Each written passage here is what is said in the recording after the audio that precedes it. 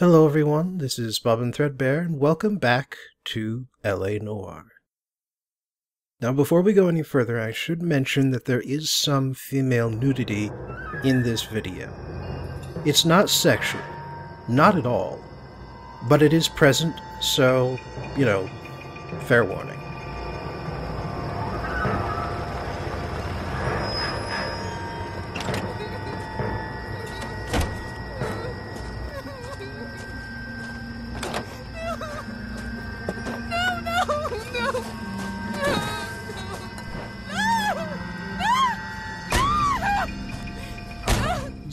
Handed.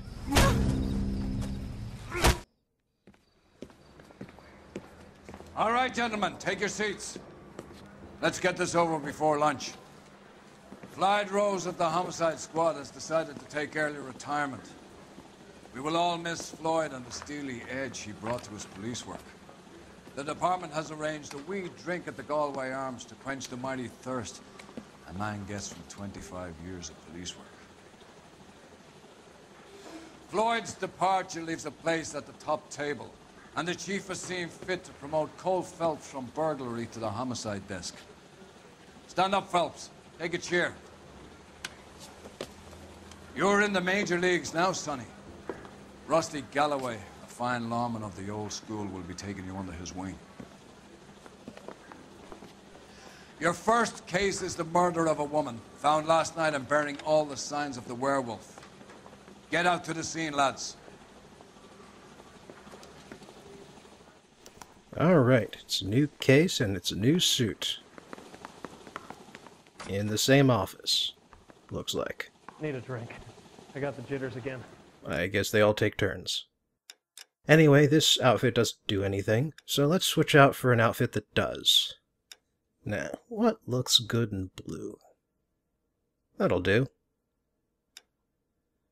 But just to be sure, just go through the rest of these.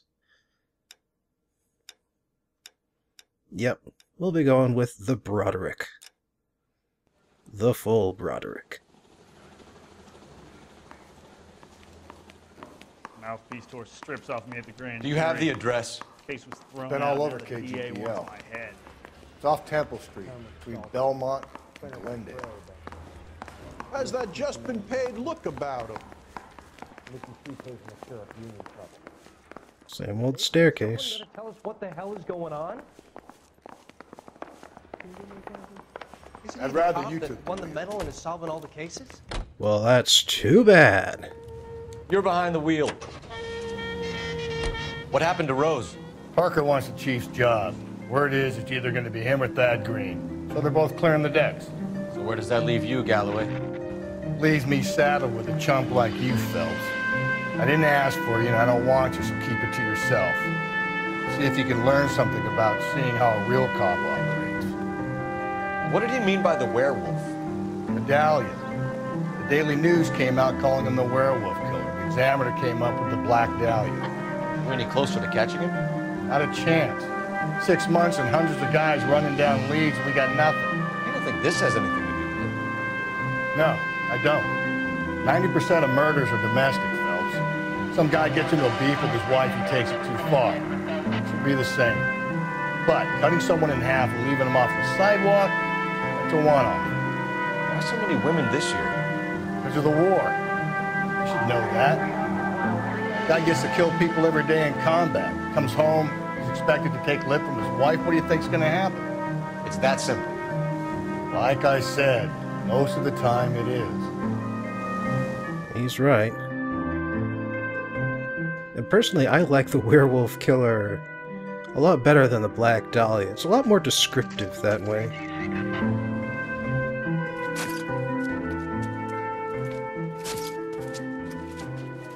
How about a scoop for the Examiner, Galloway? You could use some good press. Another tramp, another message. Is the werewolf back in business, boys? Do you have a mother, asshole? A sister? How about showing some respect for this poor woman? Let us do our job, and Detective Galloway will give you a statement later. He's good, Rusty. He even sounds genuine. That's Phelps, guys. The war hero. Defending the honor of murdered humps. You're used to it, Phelps. Move it along, guys. You got your pictures, you got your headlines. Now scram. Those guys twins?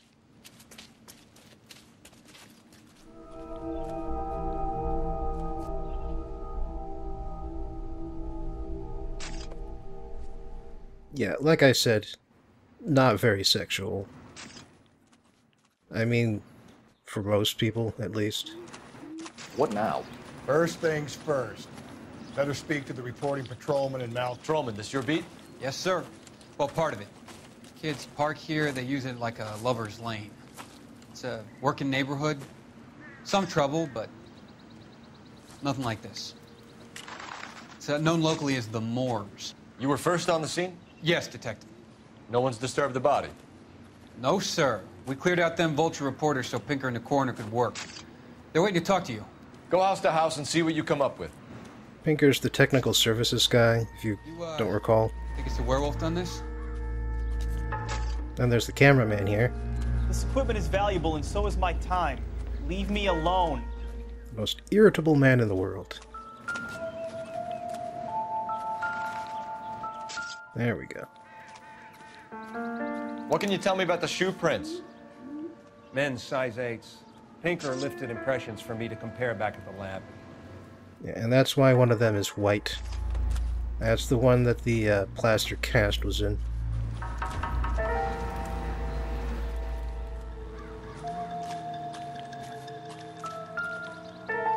Has the scene been secured? Patrolman Houlihan saw to it. The victim's personal effects are still where they fell. Cause of death? Could be the head injuries. She has been badly stomped. The cuts look superficial. I'll, I'll know for sure in an hour. Hmm. Interesting. Interesting use of words there. What about this wound on the finger? Something removed. A ring, most likely. I assume it was taken post-mortem. And violently, too. Secluded spot like this, he didn't need to be in a hurry. Well, assuming it's a he, but, uh, well, all signs point to a male attacker. What caused the blunt force injury to the face? Could be anything from a baseball bat to a lug wrench. I'll have more details after the autopsy.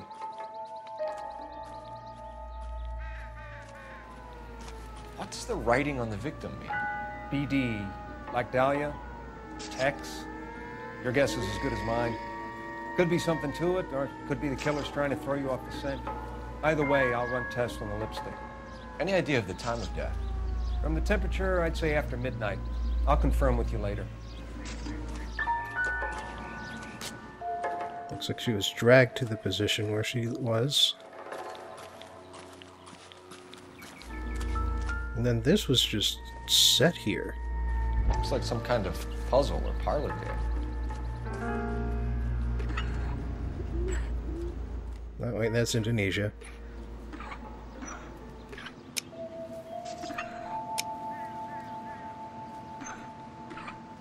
Oh, crap.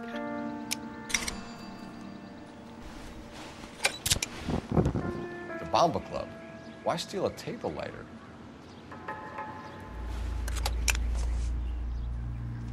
And then why set it very carefully, I might add, with the base on the ground, just to one side of her? The victim's bag?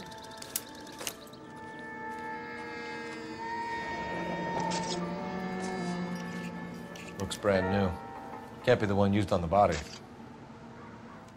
The killer very carefully uh, removed her clothing, or rather violently, either way, but left her bag and the Bomba Club lighter behind.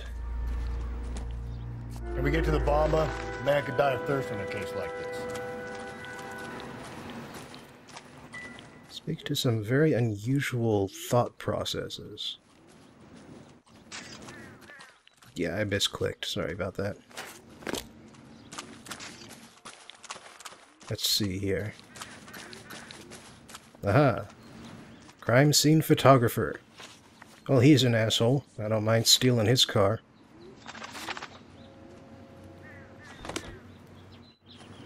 Come on, Rusty. Can you drive to this one?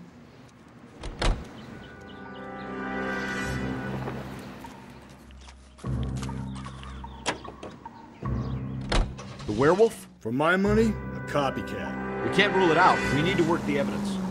You'd love that, wouldn't you? Big head to hang on your wall. Caller of the decade. You've been working evidence on BD case for six months and got nicks. There's a difference, Rusty. Oh, yeah? I just started working it today. Okay, odd shot. What's more likely? The werewolf comes back around, leaving us a note on a corpse? He clearly has a thing for power. Power over women. Why not power over the police department as well? Let me finish, fellas. The guy opens his mouth again after six months of stewing. Some opportunist who's been reading about the BD figures who'll rip out the MO and get himself a freebie. That's not totally fantastical. You know, the Examiner and the Daily News might be good at coming up with. They're terrible work. There's a reason we didn't get the son of a bitch after the short murder was them, locusts. Where do you think the werewolf killer is now? Uh, dead by his own hand, stationed somewhere else with the armed forces. San Quentin, another town, another country, who knows? So, Phelps, I understand you want to turn this into a big case, but it doesn't work like that, all right? A case will come and find you. You can't make it something it ain't, understand? So you don't think the werewolf has continued to operate in the Los Angeles area? No chance. You Would have found it. In real life, well, the Black Dahlia was a one-off murder, so it probably was somebody in the armed forces.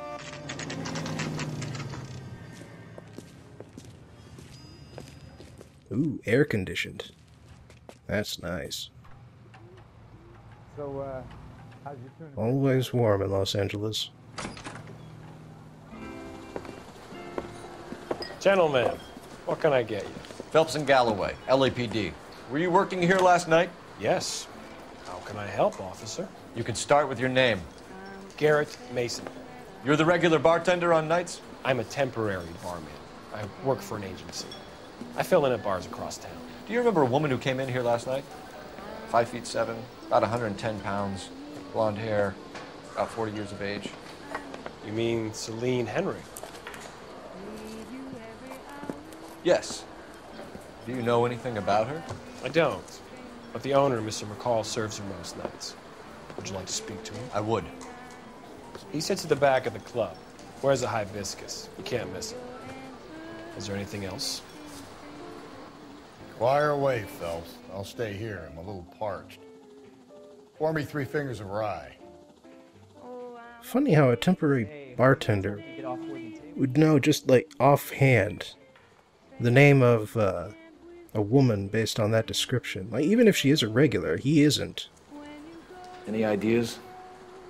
What? Jesus! Can you go talk to the owner already? Leave me in peace for a second? You going to pay for that? On the house, officer. That's the spirit.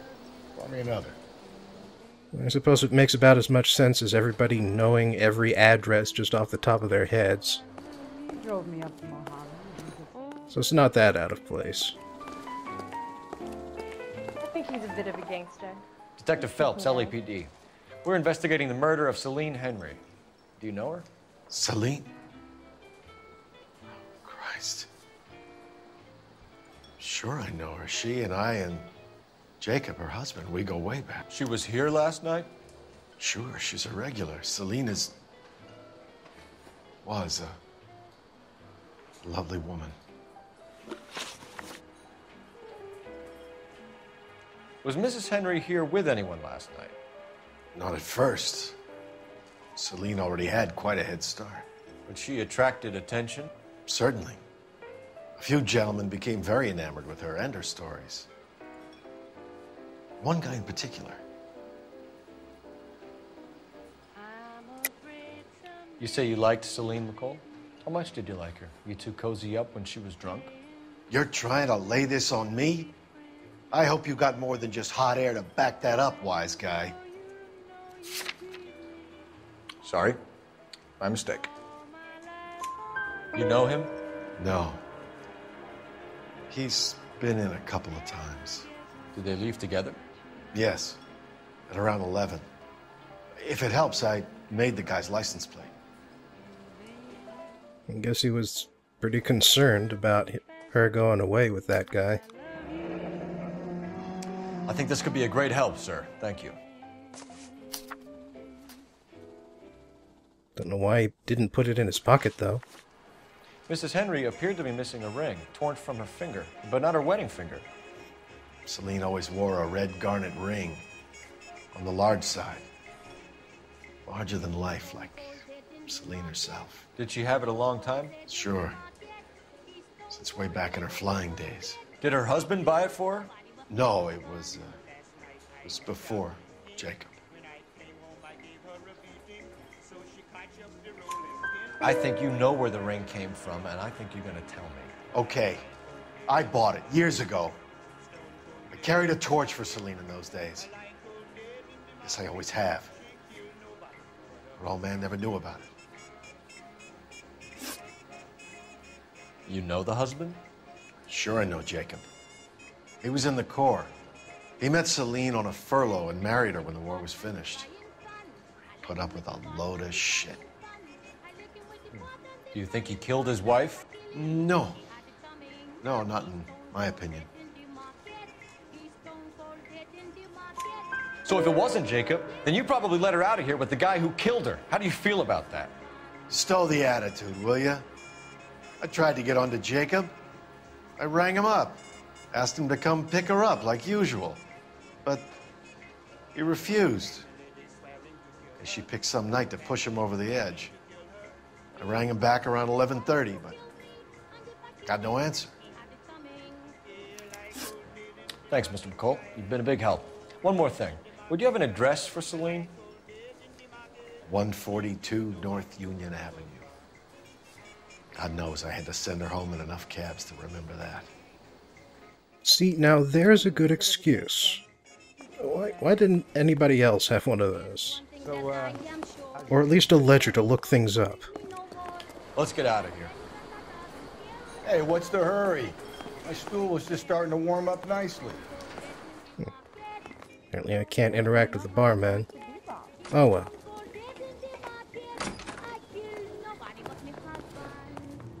Wait. Almost forgot. Gotta go call R&I. Operator, message for KGPL. Putting you through now. Phelps, badge 1247. How can I help, Detective?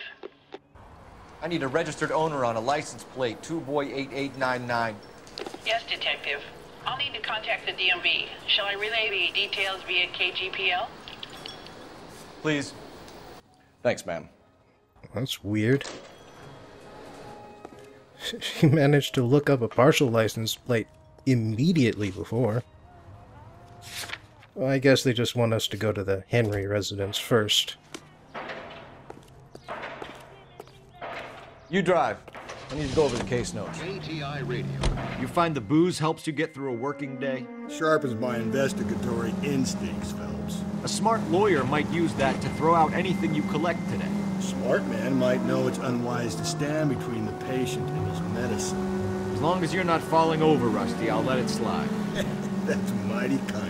you, Phelps. Know, you picked the wrong job of a healthy thirst you, Cole. We owe it to this city to do the best we can in this position.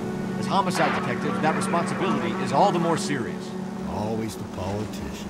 It's not political, it's practical.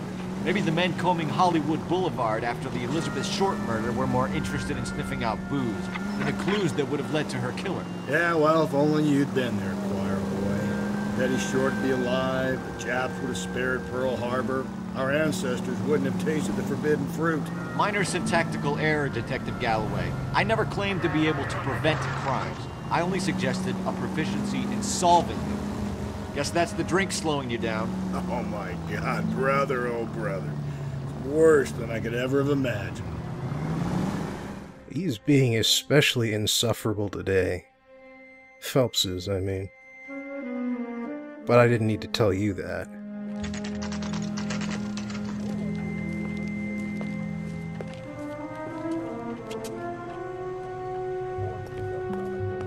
So, what have we got here? Let's peek into the windows again. Or, I guess we can't.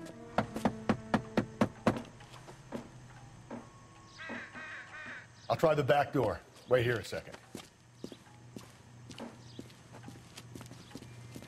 You're not even gonna knock twice? Well, I suppose you do have the cameras rolling.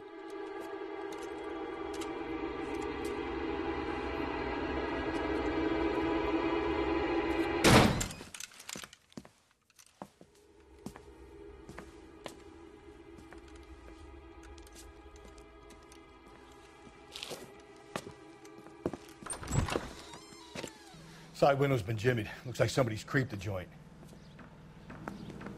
Interesting. It's definitely been uh, ransacked. Although from the state of the dishes and the well, the bottles everywhere, it might have just looked like this in the first place. In which case, what did happen here? Burglar used the pry bar. Why did you kick the door in? You think I'm gonna climb through a broken window in a $30 suit? You got another thing coming, Buster. Yeah, Rusty does not look like the kind of guy who goes in for climbing through windows. Celine and Jacob are obviously having problems. It speaks to motive. Crime scene evidence still weighs against it being the husband. Jacob could give us something my exes drank like this, you'd be feeling the back of my hand. Call in burglary and get technical services out here. I'll talk to the neighbors. Don't take all day about it, Phelps. I'll get nasty when I'm thirsty.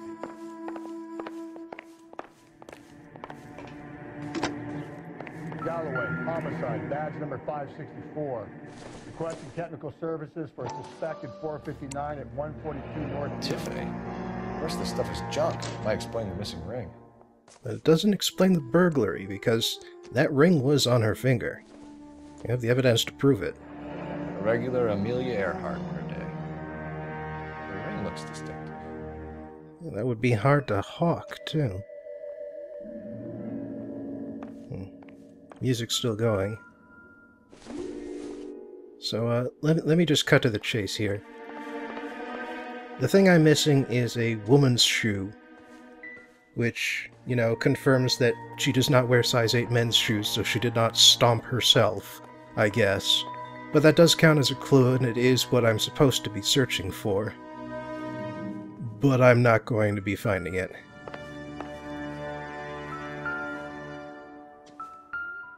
Yeah, it's not the goggles. No good to me. And there is one other thing in here. That's why you're still seeing this, why I haven't skipped ahead already. It's another newspaper.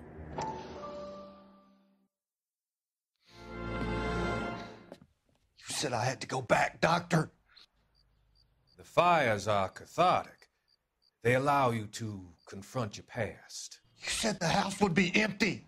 Are you taking the medication I have prescribed? You said the house would be empty. I heard them screaming. Circumstances were unfortunate. My colleagues had made all the necessary arrangements. You said the house would be empty. You're killing me. The deaths were unfortunate, but you have dealt with death before. I want you to come to the clinic and we can deal You said the house would be empty. How can I find peace? Pretty sure this is a flash forward. Because it only makes sense in the context of a much later case.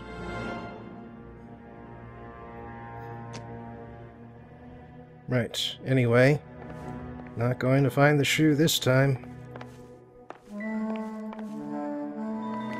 So, yeah, that's me just chasing around the outside of the building. See the neighbor here, so hey, why not? I knew it wasn't safe around here anymore. LAPD. Are you acquainted with Celine Henry, Miss? Horgan! Jennifer Horgan. I've known Celine for more than 10 years. Our children grew up together. What's going on, officer? Did you see Mrs. Henry go out last night? Well, I'm no busybody, you understand, but Celine had been drinking. And she and poor, long suffering Jacob had a terrible row. I think Jacob may have given her a black eye. He stormed out and she went back inside. Did he come back? No. Celine was listening to music and shouting until she left around 10 p.m. She was very drunk to have been driving. but she is not the sort of person you can stop from doing something when her dander is up. What is this about, officer? Is Celine all right? I'm afraid Mrs. Henry has been murdered, ma'am. Murdered? Oh my god. I'm afraid I need to go and, and sit down. Oh, fair enough. Alright, so this is the part where I go inside for one last look around the house, in which I inspect the dishes, and take a good close look at this bottle of tequila, and miss out on the shoe entirely.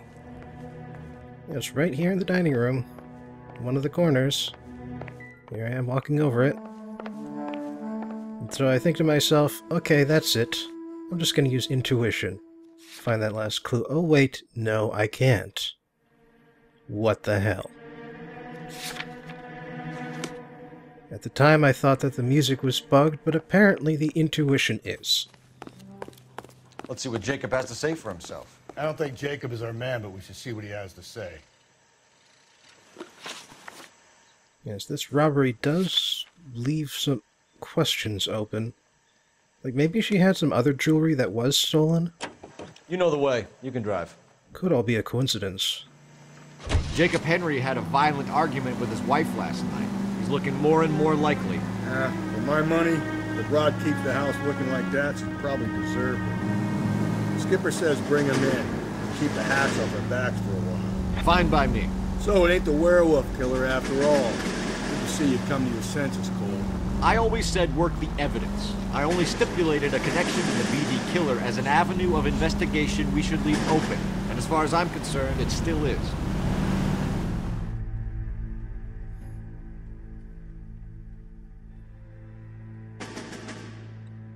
Interesting apartment complex they've got here. Okay, Phelps, we go in hard. Follow my lead.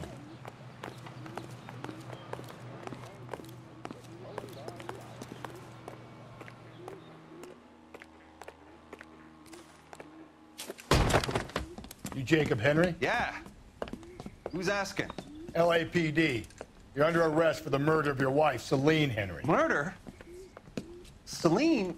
Save the dramatics Oh, my for God. RKO, pal. You got bigger problems. What the hell are you talking about? You, you come in here, you, you tell me that Celine is.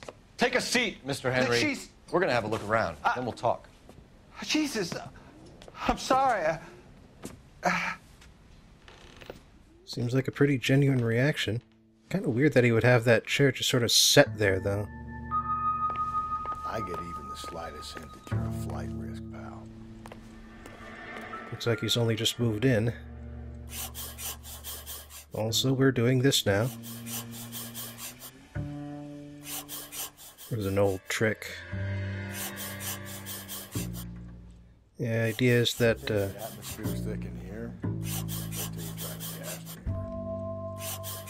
The idea is that the, um, impressions... Okay, where's the last bit? Kind of annoying. I, I know what it says already. He'll be back in The oldest problem there is what to do about the old lady. Now it tells me. But yeah, the idea is that uh, writing something down on a pad of paper leaves an impression on the pad. And let's see here. Entirely the wrong size. If I can just look at it. Size 11s. So yeah, by by rubbing it down with graphite, you can uh, see what was written on the last piece of paper. Sometimes. It's not a guarantee. So who could have killed Celine? Where did she go last night, Jacob? A bar, I suppose. Look, I don't know. You know where she went, Jacob. You're lying. Why would I help you if you keep lying to me? Look, I'm telling you, I don't know. Why would he lie about this?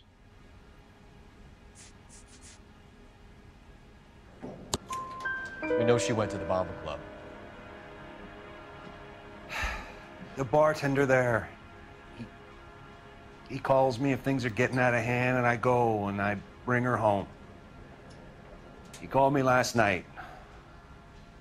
I said no. Phone rang a couple more times after that. I ignored it. I'm gonna have to live with that. That's a very good delivery that on that line. When did you last see your wife, Mr. Henry? Last night. Uh, I went to see her. We talked. Things got a little out of hand. I left. That's a lie, and you know it. You tailed her, watched her come out of a bar, and then beat her to death. Admit it, Henry. Why would I do that, Detective? Sorry. Sometimes you have to shake the tree to see what falls out. You don't remember what time you last saw your wife alive? Look, I'm sorry. I left. Maybe 9 p.m. Might have been a little later, but right around 9. Why did you kill her, Jacob? Things will go better if you come clean about it. That's a lousy thing to say. I never gave up on my wife. I don't believe you, Jacob. I think you didn't have the guts to do it yourself, so you had someone else do it. You want to back that up with something, Big Mouth? Huh? Well, there's that suspicious note over in the kitchen. Note by the phone suggests you meant her harm. You want the truth? Truth is, I was sick to death of her. I was trying to have her committed. We're still gonna need you to come downtown, Mr. Henry. We can get this all down on paper, Jacob. How you got fed up with your wife and how you figured killing her would bury all your troubles. Kill my own wife? She was a lush and a tramp, and you just couldn't stand it anymore. Shut your goddamn mouth. so now you're gonna tell me you loved her? Ah, the DA goes all gooey over remorse, Jacob. This doesn't. Okay. It's just. And here I am remembering how to use the uh, boxing controls again. It's like it's really awkward. Like, hold down right mouse button to get into the right stance. Press spacebar in order to uh, block. Call it in and get a squad car dispatched. And check for messages. I'll keep old Slugger here company. All right. Ladies and gentlemen, say hello to the longest KGPL call in history. Operator, give me dispatch. Or at least in the game. Putting you through now. Cole Phelps, badge 1247. How could I help, Detective? I need a patrol unit to transport a suspect back to Central. Certainly, Detective. You have a message from the coroner. Do you wish to be put through? Yes, ma'am. Carruthers, It's Phelps. I've completed the autopsy. Several wounds to the head from a blunt metal instrument. Closest match would be a socket wrench handle. So the cause of death was the blunt. No, the blows to the head surprisingly were not fatal. Death was from hemorrhage and shock from the fractured ribs and multiple injuries caused by the stomping. Anything else? He's some kind of sex fiend. The tissues of the anus were bruised about one eighth of an inch, but no trace of semen in the anus, vagina, or stomach. Thanks, Doctor. Operator, give me R&I. Any word on an owner for that vehicle? License was 2boy8899. Yes, Detective. The plate belongs to a brown 1936 Pontiac. Registered owner is one Alonzo Mendez of 402 South Fremont Street, apartment 16. Thanks. Any other messages? One, Detective. From Captain Donnelly. He wants any and all suspects returned to Central. Interviews to be set up immediately. Got it. We're coming in. If it's one eighth of an inch, it sounds like he may have kicked her in the anus? Rather than stuck anything up there? Especially if there's no traces of semen. So maybe not a sex fiend exactly.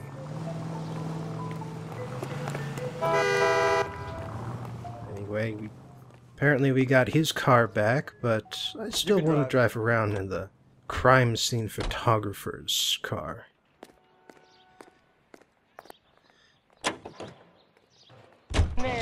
Brother said she took a real pounding. Maybe if he had been a little firmer in the beginning, he wouldn't be in this situation now. I imagine that Neanderthal routine is a big hit with the ladies, Galloway. Women love me, Phelps. I have no complexity. Exactly what they're gonna get. Well, I suppose a lot of women must have been attracted to you in the first place in order to have as many divorces as he'll later tell us he's had.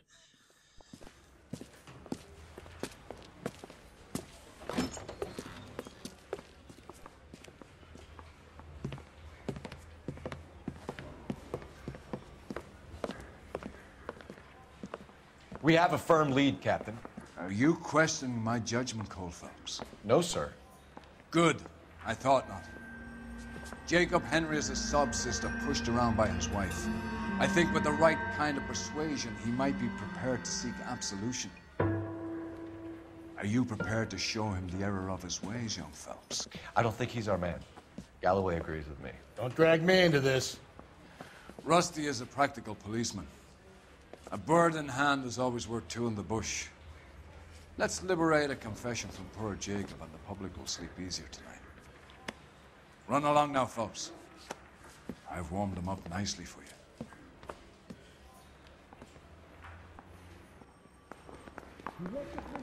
Straight through the red light. Said she never saw it. So what next? As soon as we set foot in that interview room, I bet Henry will crack. Let's get there. Doesn't look good, Jacob. You're in a big jam here. You lie to me, and I can't help you out. Do you understand me? Yes.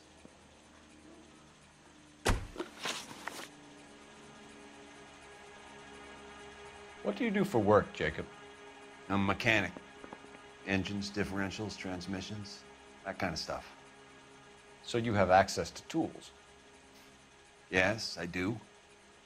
Your wife was brutally beaten with a socket wrench handle, then stomped to death. How do you think that looks, Jacob?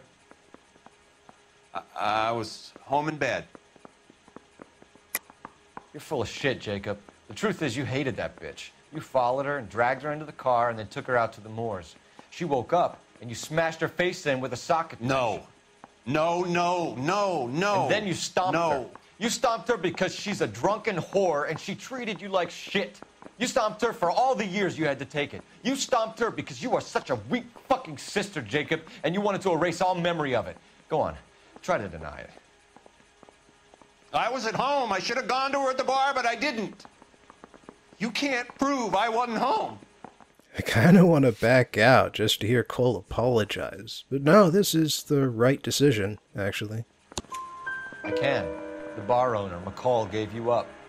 He called your house right at the time that someone was smashing Celine's skull in and got no answer. If we find that socket wrench, you're gonna fry. Get it off your chest. Tell me you killed her. I killed her, all right. I killed her dreams. She was an aviator, famous in her day, flying around up there like a bird. But she never wanted to come back down. You know, my pop was a sod farmer, dirt poor. I joined the Corps, trained to be a mechanic. I did better than my father did. I worked hard for it. It's all you can ask of a man. But Celine, she never wanted to come down from the clouds. She wanted everything I couldn't give her. All I had was security. That was never going to be enough. You did it. Everything points to you. What does Tex mean, Jacob? I, I don't know what you're talking about. You used your wife's lipstick to leave us a message. Was it a cry for help, Jacob? Well, the last time I didn't kill my wife. I don't care. Looks like I was mistaken. I need a reason to believe you, Jacob. You want a confession? That's what you want? That's exactly what we want. Seems to me there are two types of marriages. First, where the couple love each other equally and everything's roses. And then there's the other, where one person loves the other more than life itself and always puts them first. Chumps like me, who love them no matter what, no matter how badly they behave. That's it. That's my confession. I love my wife. And I'll take any test you got to prove it. Your marriage was over. You took her in and she threw it back in your face. You didn't go over there to hurt her. It just got out of hand. It's not how it was. You're lying, Jacob. It was falling apart and things got violent. I'm not lying. I'm telling you how it was. That's not what your neighbor says. Jenny Horgan says you blackened her eye. It's all right, Jacob. The DA will understand. In your shoes, I would have done exactly the same thing. I hit her.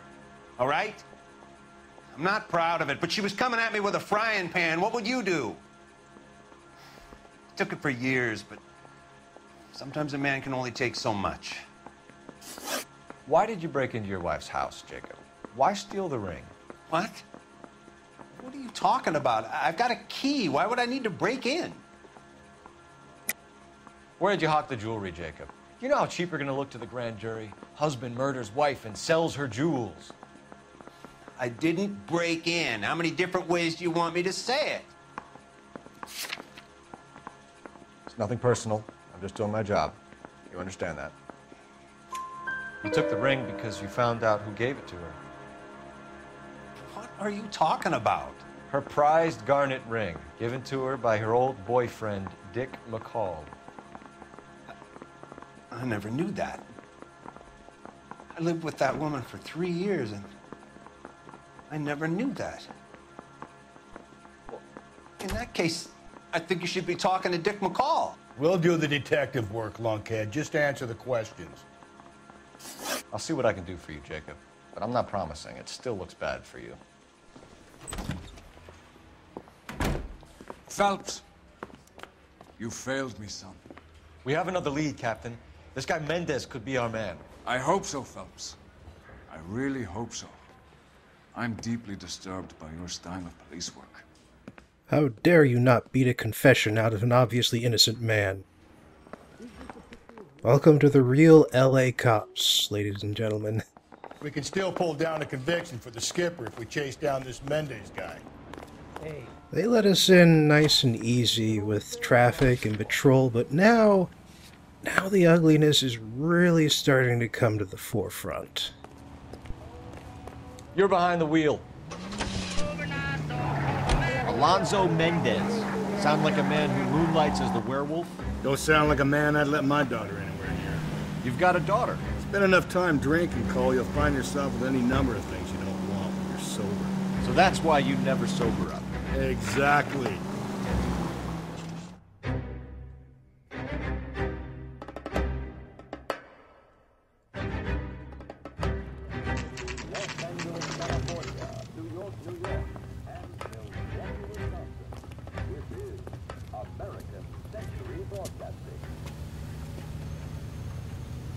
Really? Mendez, apartment 16.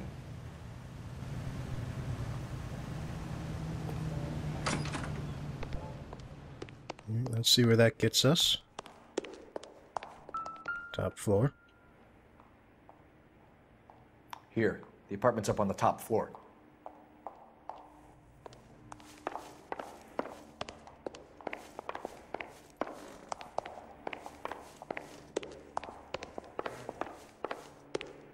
Oh, wait, one more after this. Where's the roof access, though? Don't bother knocking, just kick the door in. Take a look around and see what you can find. All right, and here I miss another clue. which is a men's size 8 shoe over there on the right. See, by looking at this box first, uh, kind of triggered something. Seems rather convenient, though, doesn't it? Carruthers could match the color and brand of the body. Bloody clothes, the lipstick, the murder weapon, all just neat and tidy in a box. Consistent with Celine's injuries, and the blood can be typed. We have the murder weapon. We better get Pinker down here. Why keep it? Why not throw it away? Think these clowns are geniuses? Thank your stars you caught a break. Captain Donnelly will begin to like you. Hey, what gives? LAPD, you're under arrest. Do not lose that son of a bitch. I'll go get our wheels. Mendez, stop right there. Alright, this does look suspicious, though. I mean, maybe he knew about the box full of blood and stuff. Maybe he thought running was the best option, or maybe he did something else that's illegal. Like, the box didn't contain anything that was stolen from the house. Maybe that's what he did. Well, assuming that he's not actually the killer, of course. Strange that it didn't contain that distinctive ring, though. That's still missing. Get in and drive. Where did you when did you get your car back? Ah, damn it. Oh. So he gets a head start.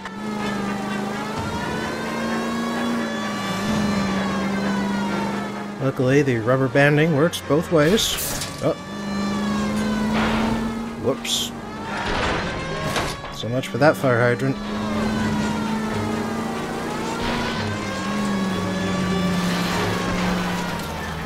Hit him, Cole. Spit him out. Well, I would, but I don't need to. Welcome to the first armed chase. Well, possibly the second. Because I could have shot instead of run away from those goons. For the murder of Celine Henry.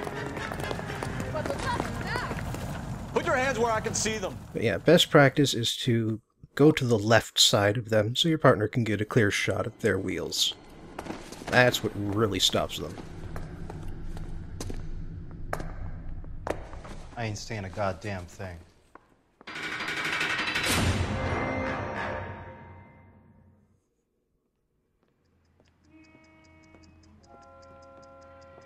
You did a grand job, lads.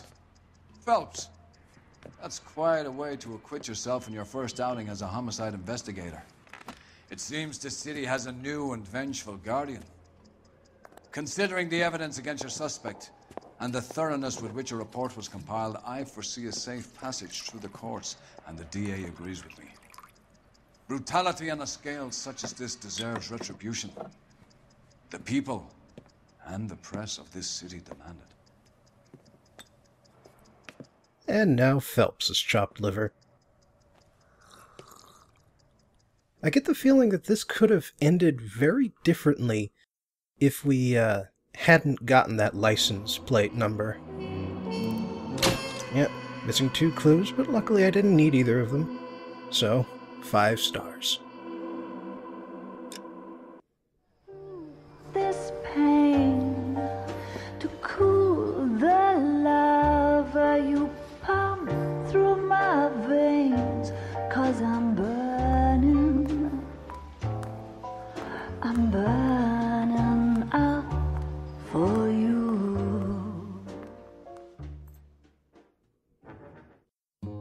For today's film, we'll be stepping out of the usual line of top quality noir films to take a look at something which is.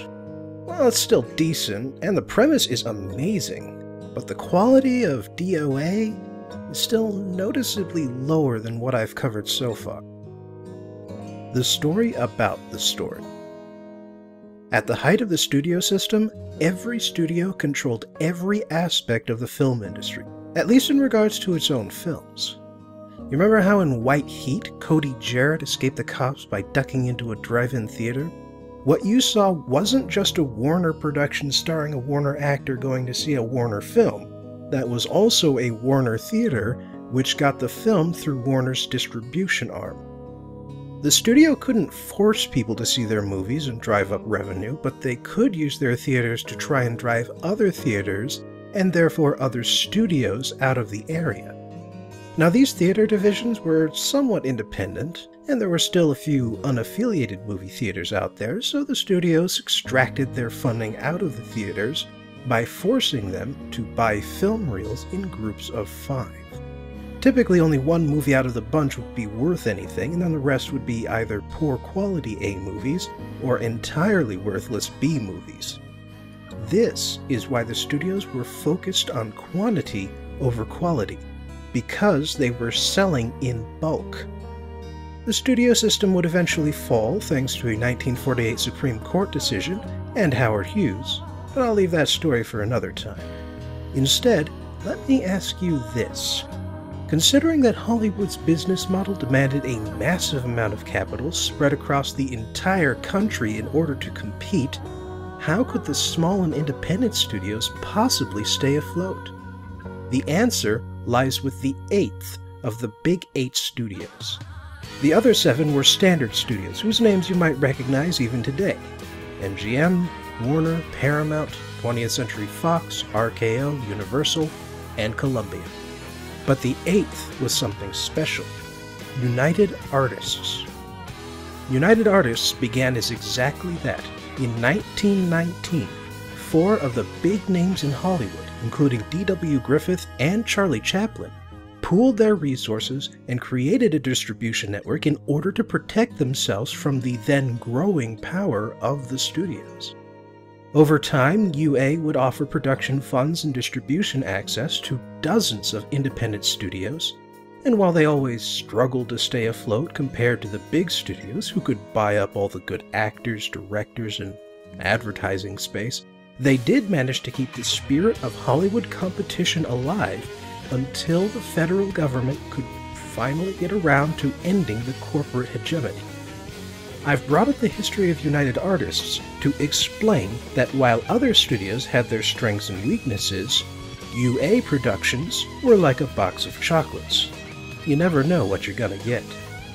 DOA, released in 1950, was directed by Rudolph Maté, a Jew born in Krakow, a Polish city which was owned by the Austro-Hungarians at the time of his birth. Maté was another refugee of the destruction of the German film industry in the 1930s, although in his case, he was a cinematographer, and he would go on to begin directing films in Hollywood in 1947. The production company itself was a short lived project called Cardinal Pictures, and the relatively inexperienced director and the lack of any studio oversight goes a long way towards explaining some of the questionable production decisions. But I'll talk about that more after we begin the story. First, let me begin by saying that DOA is technically in the public domain thanks to a copyright error, and as such, my copy seems to be a rather shitty TV reprint because it has interlacing lines and it runs at 30 frames per second instead of the film's standard 24. As such, if the film looks especially grainy and full of artifacts, all I can say is that's how it looks. The movie begins with the protagonist, Frank Bigelow, walking down a long, ominous hallway at the LA police station as the credits roll. He steps into the homicide division office, walks up to the captain, and says, I want to report a murder. It happened in San Francisco last night, and the victim was me. After sending word to San Francisco that the hunt for Frank Bigelow is now over, the captain gives Frank his full attention. We flash back to the day before in Banning, a small town east of Los Angeles.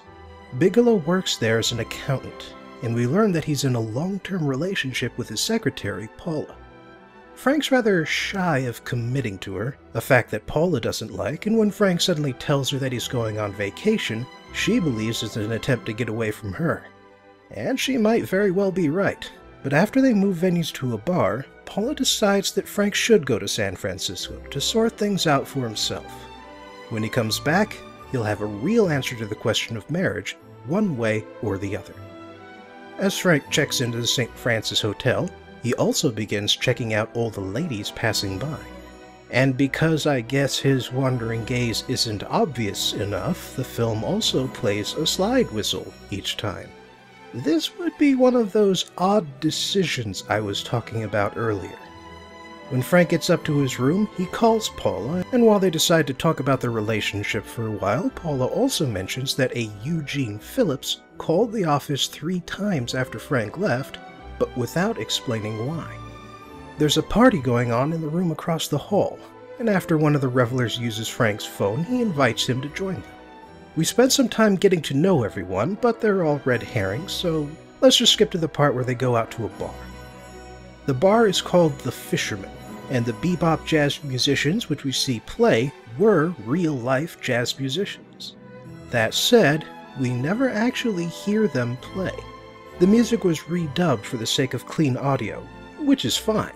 But for some reason, the production team used a big band for the recording instead of the jazz quintet, a fact that's painfully obvious when the film cuts over to the actors and a whole brass section starts playing. Frank Bigelow is visibly uncomfortable with the crowd and the energetic music, although I personally thought it was pretty good. He ditches his new friends and has a drink at the bar, but at the same time, a mysterious figure in a checkered coat and scarf sits next to him. Bigelow goes to flirt with a lovely blonde woman at the other end of the bar, but while he's distracted, the mysterious figure tampers with his drink. Bigelow gets the number of the next bar the woman will visit, but when he stops by his hotel room, sees the flowers Paula left for him, he tears up the number and goes to sleep. The next morning, Bigelow is feeling under the weather, and so he grabs a streetcar and finds a clinic. There, they give him an unfortunate diagnosis. He's been poisoned by something called luminous toxin, and while he might have survived if they'd caught it earlier, by this point, Bigelow only has days to live. A card at the end of the movie assures us that luminous toxin is a different name for a real poison, and while they could be lying about that, the symptoms and the fact that the stuff literally glows under the right conditions means that it could be something radioactive. Bigelow is understandably horrified by the doctor's pronouncement and he rushes out to get a second opinion but the second doctor only confirms what the first one said. Bigelow goes on a mad dash down the San Francisco streets, particularly mad because the film crew didn't have a permit, but he eventually decides that since someone must have poisoned him, he needs to find out who before he dies. He first tries the Fisherman Bar, but it's closed for the morning. He then visits the room the revelers were in, but they've already checked out. Paula calls back and tells him that Eugene Phillips died last night, and Frank realizes that it may be related to his own circumstances. Paula tells him that Phillips ran an import export company in Los Angeles, and Frank takes the next flight south. When he goes to Phillips' office, he meets with the company controller, Halliday. Halliday doesn't know why Phillips needed to speak with Bigelow, so Bigelow gets Halliday to tell him where Mrs. Phillips lives and finds out that Phillips apparently died from leaping out of his balcony window. At the Phillips apartment, Mrs. Phillips is no help, but her husband's brother, Stanley, explains that Phillips had been arrested recently for selling stolen iridium to a man named Majak. Supposedly, he committed suicide because he'd otherwise face a long prison sentence. Out of leads, Bigelow heads to his hotel room and calls Paula again. After talking about missing each other some more, Paula tells Bigelow that she found Eugene Phillips in their paperwork. Their office had notarized a bill of sale for Iridium six months ago between Phillips and a man named George Reynolds. Bigelow heads back to the Phillips apartment to tell the widow about the bill of sale, and she tells him that George Reynolds has disappeared off the face of the earth. Also, I think DOA may have invented Columbo's one more thing trait, because, not for the first time, just before Bigelow leaves, he says, The one thing that puzzles me is why you didn't ask how I knew there was a bill of sale. Bigelow then returns to the import office and asks the secretary, Foster, who else Phillips tried to call yesterday. Foster doesn't want to say anything, But after Bigelow explains that Phillips was murdered, since innocent men with a lead on some proof don't leap out of windows, Foster tells him about Marla Rakubian, a model who might have been Phillips' ex girlfriend or lover. Bigelow heads straight to Rakubian's apartment and storms his way in, discovering in the process that she's about to go on a long trip. Rakubian denies knowing anything, but Bigelow discovers a portrait of Reynolds in her luggage, a portrait he recognizes since he met Reynolds personally. So she pulls a gun on him.